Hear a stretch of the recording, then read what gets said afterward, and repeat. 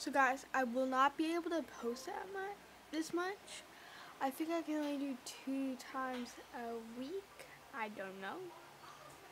But we are going to see. I'm just in the room chilling. And okay.